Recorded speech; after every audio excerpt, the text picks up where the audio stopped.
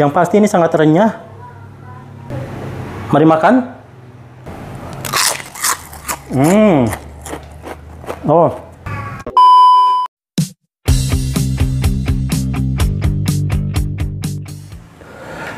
Assalamualaikum warahmatullahi wabarakatuh. Salam buat semua kawan-kawanku di mana pun berada. Jadi hari ini saya akan membuat cemilan berbahan dasar dari singkong ya. Yang renyah, crunchy, garing, imut dan lucu pastinya. Yaitu kerupuk singkong. Kerupuk singkong ini beda ya sama cimpring ataupun opak ataupun samiler. Jadi eh, agak sedikit beda cara pembuatan juga. Oke, ikutnya mulai aja ya. Di sini saya sudah siapkan. Ini ada 800 gram singkong yang sudah saya kupas dan cuci bersih ya. Jadi singkongnya nggak nyampe 1 kilo ya. Ini hanya ada 800 gram. Oke, sekarang singkongnya kita haluskan ya. Bisa di blender, di chopper ataupun diparut manual. Itu bebas, terserah. Yang penting halus. Dan di sini saya akan menggunakan chopper ya menghaluskannya saya menggunakan chopper karena nggak mau lama kalau pakai parutan ada sih enaknya pakai parutan tapi hari ini mau pakai chopper aja oke sebelum saya chopper ya ini singkongnya saya uh, kecelek-kecelek dulu di kecelek-kecelek kayak gini ya kecil-kecilin oke ini singkongnya udah selesai ya saya kecil-kecilkan seperti ini di sini saya mau tambahkan ini 500 ml air atau setara dengan setengah liter. Kita tutup. Langsung aja kita haluskan ya.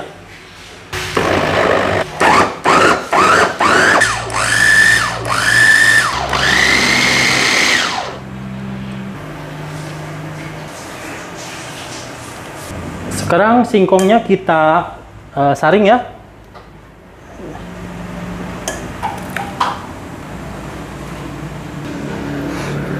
kita buang airnya. Oke ini diperasnya udah cukup ya seperti ini. Airnya jangan dibuang ya nanti endapannya kita ambil atau saripati dari singkongnya.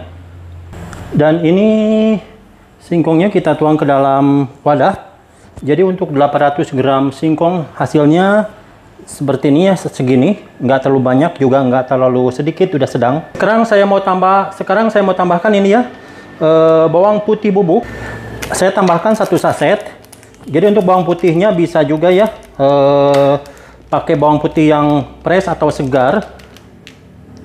Kurang lebih 3-4 siung diulek halus.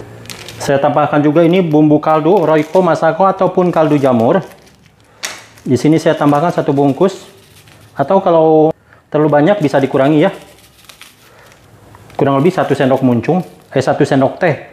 Saya tambahkan juga ini ada ketumbar bubuk ya. Ini satu sendok teh. Kurang lebih segimana ya segini deh. Oke. Dan terakhir saya tambahkan ini ada 5 sendok makan tepung tapioka ataupun aci ataupun tepung kanji. Semua bahan kita aduk ya. nanti ini kan apa terlalu kering nih. Saya mau tambahkan air air sedikit ya. Sekarang saya mau uleni pakai tangan ya dan di sini pastinya tangan saya udah cuci tangan udah higienis dan udah bersih. Nah ini masih ini ya kurang air sedikit. Nanti lihat-lihat ditambah enggaknya dan di sini saya akan masukkan ya. Ini ada sedikit endapan dari uh, apa tadi? Air singkong atau saripati singkong. Kita masukkan aja jadi nggak usah pakai air lagi ya. Ini endapannya udah cukup. Kalau nggak pakai endapan nggak apa-apa. Kalau kurang air tambah sedikit air oke ini udah kalis ya adonannya. Dan sekarang adonannya akan saya bagi tiga ya. Bagi tiga sama rata oke ini udah cukup ya bagi tiga sama rata dan yang dua wadah ini sekarang saya mau kasih pewarna makanan. Sebenarnya opsional ya kasih pewarna makanan. Tapi saya akan kasih pewarna makanan biar hasilnya lebih cantik lebih menarik dan pastinya lebih bagus kelihatannya. Saya akan tambahkan pewarna makanan warna merah dan warna hijau untuk kedua wadah mangkuk ini. Dan yang satu lagi tetap original warnanya putih. Langsung aja kita tambahkan pewarna makanan secukupnya. Kita aduk ya. Oke, udah cukup. Satu lagi warna merah. Oke, udah cukup ya ini pewarnaannya. Sekarang kita siapkan loyang ya. Ini ukurannya sedang sesuai dengan e, banyaknya adonan kerupuk. Ini saya olesi dengan minyak. Jadi sekarang yang warna merah akan saya taruh di bawah. Kita ratakan ya. Sampai ke samping-sampingnya. Untuk meratakannya bisa pakai sutil seperti ini ya. Biar lebih rapi.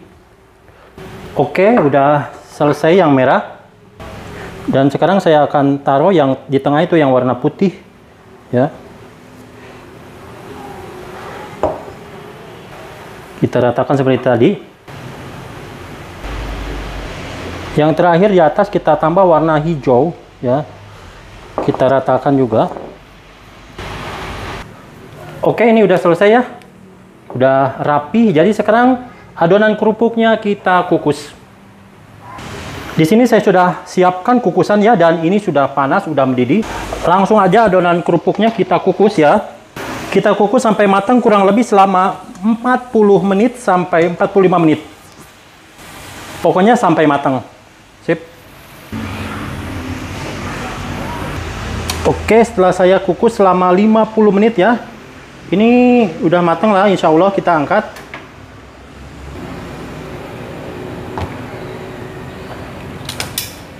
Oh ya, kenapa lama ngukusnya? Karena ini kan tebal ya, satu loyang kecil penuh, takutnya nggak mateng. Jadi makin tebal uh, adonannya, kita harus makin lama uh, ngukusnya.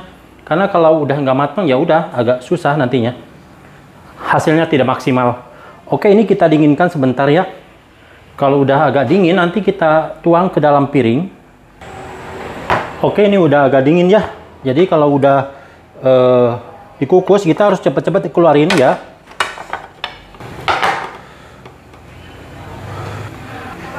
ini dia calon kerupuknya jadi kenapa kita harus keluarin karena kalau nggak dikeluarin ini pasti kalau misalkan suruh dingin ya di dalam loyang ini nanti basah ya karena uapnya nggak keluar jadi kalau udah dingin udah dikeluarin masukin ke piring seperti ini sekarang kita dinginkan atau kita biarkan aja selama minimal 8 jam atau kita simpan selama satu malam. Bisa di dalam lemari es di bawah ya, bukan di freezer, ataupun di suhu ruang. Oke, jadi sekarang kita dinginkan, uh, mungkin saya akan irisnya besok. Oke, ini udah cantik ya, kayak kue. Oke. Ini dia uh, kerupuk singkongnya, udah saya simpan selama satu malam ya. Dan sekarang teksturnya padat dan mengeras ya, seperti ini. Oke, sekarang waktunya kita iris-iris atau kita potong-potong tipis. Ini kerupuknya saya mau potong atau saya belah dua dulu ya. Soalnya kalau segini kebesaran nggak ya? Saya coba deh. Jadi saya akan iris sekarang. Oh ya, siapkan pisau yang tajam ya, biar hasilnya nggak rebek. Ya. Ah.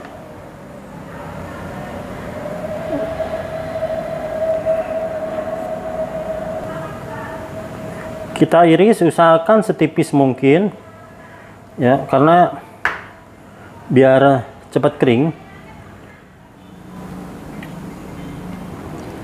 oke ini udah selesai pengirisannya jadi untuk uh, ketipisannya ya semampunya aja lah ya. Soalnya nggak bisa sangat tipis-tipis sekali karena ini manual. Dan sekarang kerupuknya kita uh, susun ya jajarkan di atas uh, nyiru ataupun nampah. Kita siapkan nyiru ya atau nampah. Ini alhamdulillah nyirunya si ambu jadi kepake kalau buat jemur-jemur.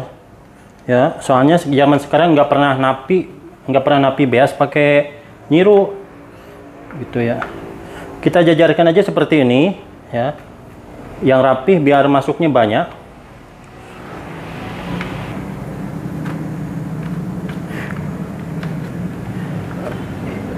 Ini kerupuk singkong kekinian ya. Di samping uh, modelnya yang cantik dan rasanya juga enak, surenak. Gitu ya. Oke, ini nyirunya udah penuh ya. Jadi ini lebih sedikit kita jemur di uh, tempat lain aja ya. Sekarang si kerupuk uh, singkongnya kita jemur.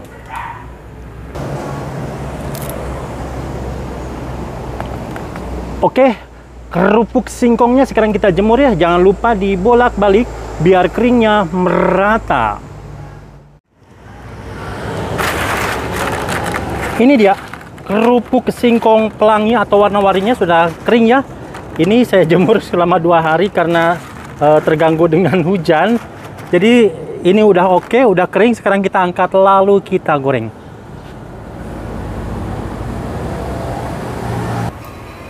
Oke, langsung saja di sini saya uh, sudah siapkan minyak ya, dan ini udah dipanaskan.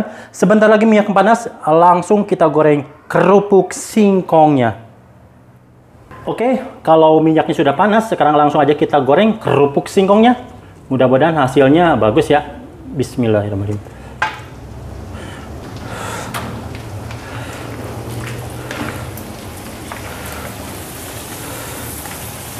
Alhamdulillah ngembang. Ini langsung kita angkat kalau udah matang jangan sampai gosong.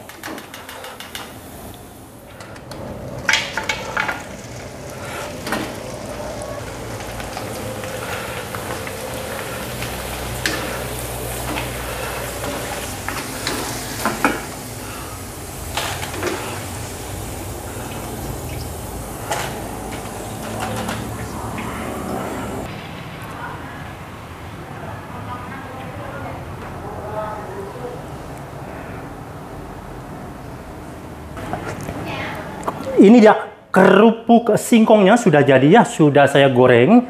Uh, tapi ini nggak digoreng semua, hanya sebagian saja. Langsung aja sekarang kita eksekusi, kita cicipi seperti apa rasanya kerupuk singkong. Ambil satu ya. Yang pasti ini sangat renyah. Mari makan. Hmm. Oh. Renyah dan gurih ya. Dan juga rangu.